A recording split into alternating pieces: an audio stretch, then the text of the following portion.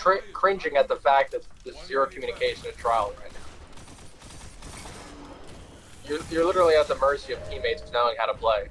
I just killed someone through the bar through the barricade.